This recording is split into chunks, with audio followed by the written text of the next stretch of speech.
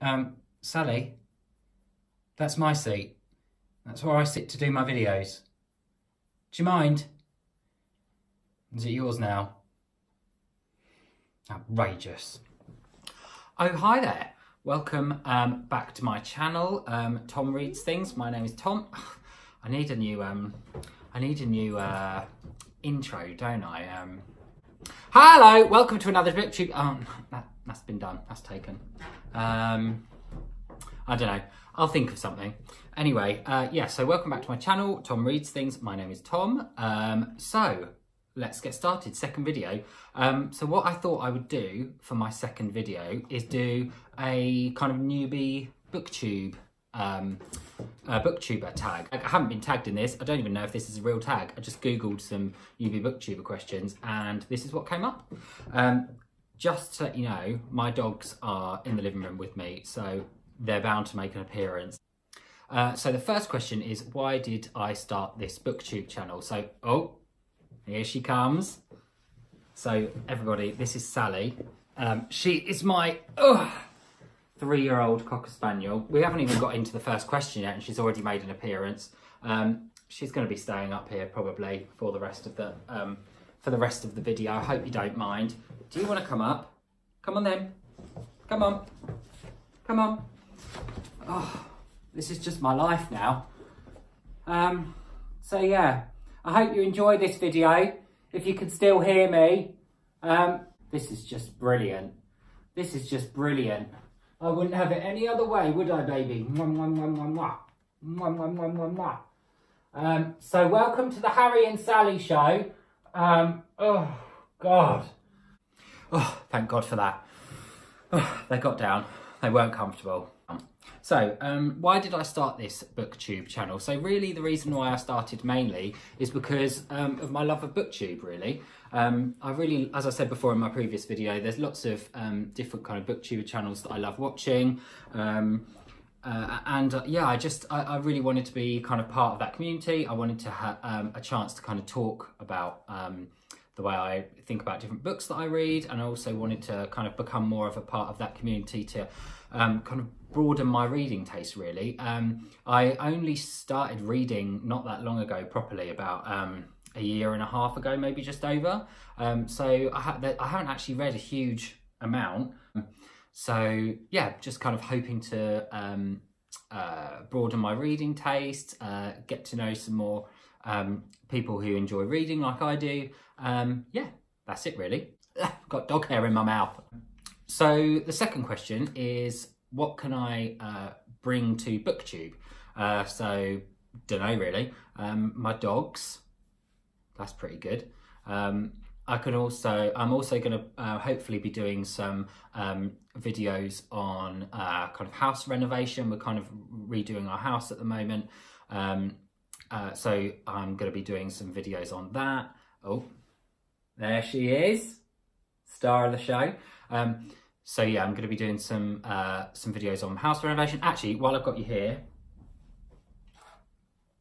I'll put them down here.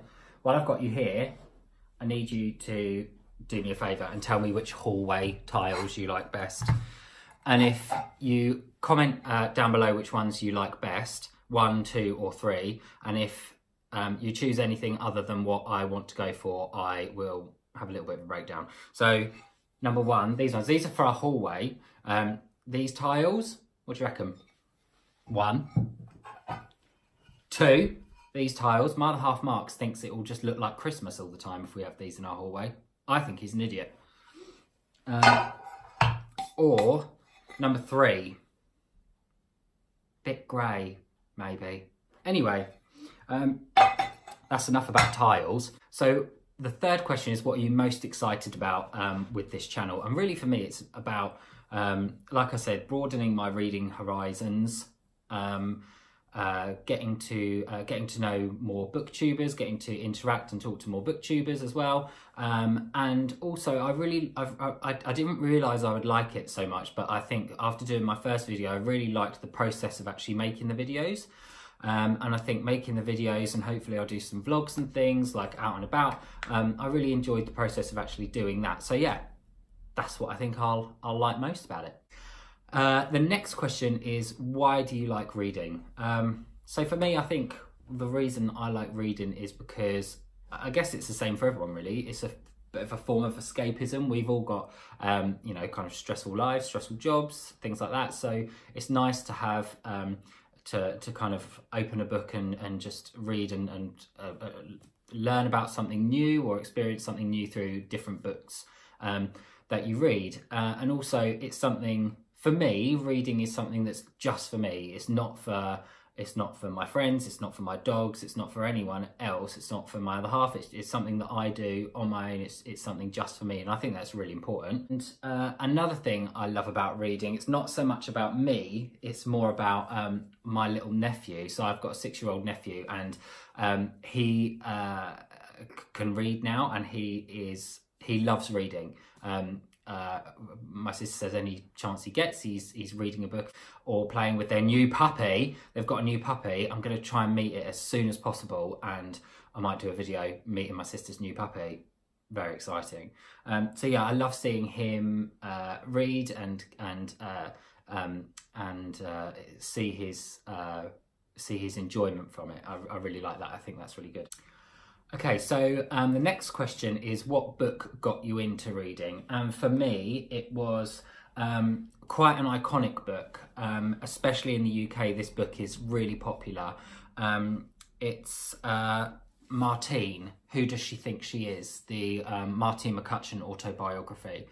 Um, what I really like about this book is that it really goes into depth about her work on the Activia adverts. I'm only joking. Love Martine McCutcheon, but this didn't get me into reading. Go on over there, Martine. It's not for you. This is my moment. Um, actually, what really did get me into reading was I picked up this book in a charity shop in Cambridge, and this is yeah, this, so this is what got me into reading. It's called The Black Death: An Intimate Story of a Village in Crisis, 1345 to 1350, and it's by an author called John Hatcher. Um, now, this book uh, follows the story of a village in, I think it's in Suffolk. Um, and it's a real village uh, that exists in the UK. And um, it, it it's kind of follows their story from the beginning of the Black Death entering the UK um, until until the, the Black Death had kind of uh, um, run its course in the UK. Um, and it's interspersed with each chapter starts with um, kind of a non-fiction historical account of what was happening at that time in this village. Um, and then it goes into the fictionalized, fictionalized stories of um, uh, the the protagonist who is the priest of the um, of the village at the time. And what I really liked about it is, as soon as I picked it up, it it just it's terrifying. I mean, the thought of the thought of that they knew that this Black Death had ravaged Europe and was approaching them, had had reached um, English shores and was approaching them, and there was it was each chapter um, starts with it getting closer and closer and closer to their village, and there's tales from uh, people outside of the village that are coming into the village that it's getting closer and closer and closer, and there's nothing they can do to stop it. And I just think it must be it must have been absolutely terrifying. And I think this book tells the story of the Black Death in the UK really really well. So yeah, I'd really recommend this. Um, the Black Death uh, by John Hatcher. So yeah, if you can, find this and read it. It's brilliant. Um, another book that got me into reading was the first classic that I ever read, and uh, that was Robert Louis Stevenson's uh, The Strange Case of Dr. Jekyll and Mr. Hyde. Um, now, this book, again, it's it's it, the, the the whole theme of it, the the whole idea of it, that someone can become someone else and be so terrifying, is um, was kind of really scary for me as as a young young guy reading this. Um, and the way that Robert Louis Stevenson writes um, is incredibly eerie in this book, and uh, it was also very short. So it's a really good way to get into uh, classics or Victorian literature um, if you are uh, interested in that at all. Um, so yeah, this was another book that really got me uh, really got me into reading. Um, so the next question I'd like to ask my favourite booktubers um, it's really the same question to everyone. How do you read so much? Um, my, I, I try and read as much as I can. Um, I, I, I probably read for about um, an hour and a half each day, an hour and a half, two hours each day, but it's split up into chunks. Um, so just as I get going, I kind of have to stop. Um, so yeah, it would be kind of how how do you read so much? I know if you if you can make time if you if you if you want time to read, um, but yeah, how do you read so much? Maybe I read like a two year old. I don't know. I think I might just be a slow reader. Uh, another question I would ask is, um, do you ever read palate cleansers? So my so for example, I just finished The Binding by Bridget Collins and really really loved it. I spoke about that in my previous video. Really really really loved it. Um, and I kind of knew already once I put it down that the next book I read I really wasn't going to enjoy that much. Um, and it was true. Uh, I, I, I didn't, and actually I DNF'd it. Um, and I think that was because I couldn't let go of the the, the story of the binding. I it was still firmly kind of lodged in my head, and I couldn't let go of those characters. And I think I really needed a palate cleansing book to. Um, a, a kind of book that I kind of knew was going to be like a three star read, very very short that I could just you know read to kind of get over the binding, if you like, um, before I started on the the kind of next book that I wanted to read. So yeah, I'd ask, um, do you read palate cleansers? Um, so the next question is what um, do you think will be the hardest things to overcome with your booktube channel? I think for me really it's going to be my reading speed. I need to read i'd like to be able to read more um, so that i have things to talk about in these videos other than um, tiles for my hallway dogs and marty mccutcheon. Another big thing is going to be i really uh, uh, because i don't really i don't really have many people that i can talk to about um, books in particular um, uh, I, am not really used to talking in a kind of literary criticism way. Um, I, I, just know I like a book or don't like it, and kind of find it a bit hard to explain why sometimes. Um, so yeah, I think it'll be um, it'll be quite a, a, challenge for me to really think about putting into words what I liked about books, what I didn't like about books, and um, kind of trying to get that across in my videos. When did you start reading? I started reading properly about a year and a half ago um, in June 2017. Um, yeah, obviously I read before that, but I read uh, mostly in school because we had to. Uh, the next question is where do you read? So I read mainly on the train in the morning, so I commute into work um, in Cambridge um, in England each each day. So I, I read about half an hour in the mornings, about 10 minutes um, on the way back from work, and I read for about an hour in the evenings um, as well. Uh, so the last question is, what kind of books do you like to read? Um, I really, what what I've most enjoyed about um, uh, reading over the last kind of year and a half and getting into booktube is uh, is kind of discovering more um, diff different types of books really um, i never thought i'd really like classics but i there there and i kind of have a bit of a love-hate relationship with classics and victorian literature there are some which i really really love um, and i'll do a book i'll do a, um, a, a video about classics that i love uh, coming up um, but there are some that I really don't get on with at all. So yeah, I like to read classics. Uh, another kind of genre of book that I, I didn't know that I would love, but I actually really, really do love is historical fiction. Um, and there's a couple of historical fiction books that I've read over the last year and a half that I really, really like. Um, so, some of them I wanted to talk to you about. So the first um, uh, are two books in a in a what I believe is going to be a trilogy by Minette Walters. Um, the first is called um, The Last Hours, and I've just realised actually this is about the plague that like the Black Death in the UK again. What's wrong with me? Am I obsessed with the Black Death in the UK? There's something weird there, isn't there? Um, this follows the story of a guy called, I think you pronounce his name Thaddeus? Thaddeus? I don't know.